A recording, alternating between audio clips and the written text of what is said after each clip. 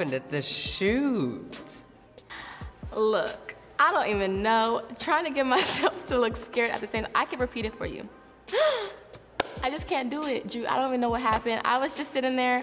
I was backstage. I was like, come on, y'all, help me do this. Everybody was like, okay, you looking scary, or oh no, you scaring me. I'm like, well, I can't scare you. Like, I gotta look scared, so. Well, was this competition scary? Throughout the whole entire competition, my mindset was whatever happens, happens for a reason. So I only go as far as I'm supposed to make it. So I just feel like God put me in this position for a reason, and I feel like I made it as far as I'm supposed to go. What was it like living in this house?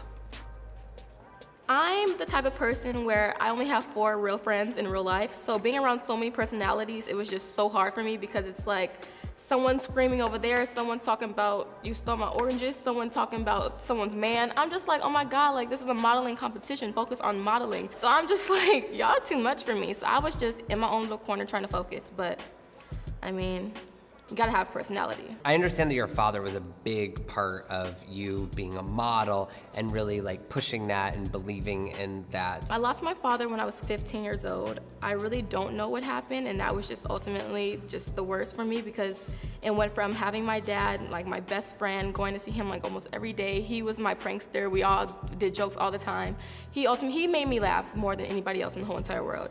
And then it went from him kind of disappearing, and the whole entire time he was disappearing on me, he was in the hospital, but he didn't tell me what was wrong. He said he was like away on a job opportunity. So I was just like, okay. And then it went from having my dad, having my best friend, to having my sick father and fighting for his life.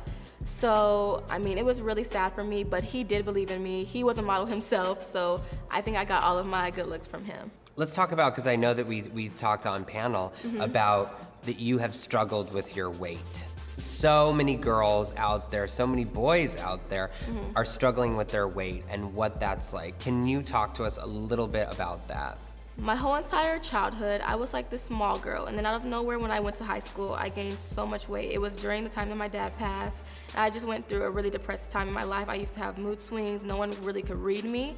And I just took that time to just eat. Like I ate everything. And then I moved to New York City. And then that's when I moved to New York City to be a fashion designer. So then I started walking, I started taking care of myself, and the weight just came off. So it's all in how you look at it. If you're trying to lose weight just to lose weight because you want other people to think you look good, you're not gonna lose weight. If you lose weight for yourself, it'll happen. And I think the other thing too is is, is this industry has changed so much. I think that so many people put such an emphasis on being stick thin and that type of thing. And in our competition, obviously, you know, Ivana, Khrystyana, Ashley Graham. It's like we're seeing all different sizes. Do you feel now too that modeling is allowing girls of any size and shape in a different way than before? Oh yes, of course. I see that in all my magazines, all over YouTube, all over uh, New York Fashion Week. I love that they're bringing in and embracing what a woman actually is now. I'm gonna ask you some quick fire questions. Okay. And these are just,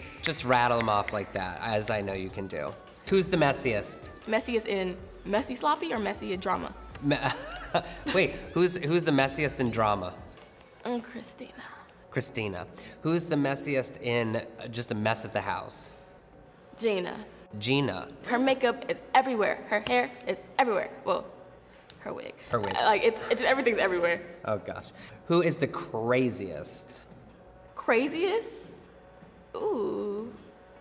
Uh I feel like Liz was kind of crazy. And um, what was it like standing in front of Miss Tyra Banks?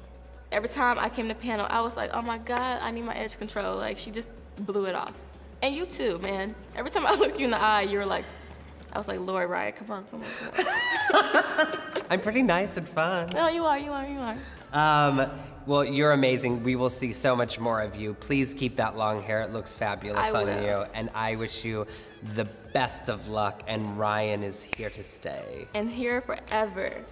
I like it. Give me a hug. All right. Thank you.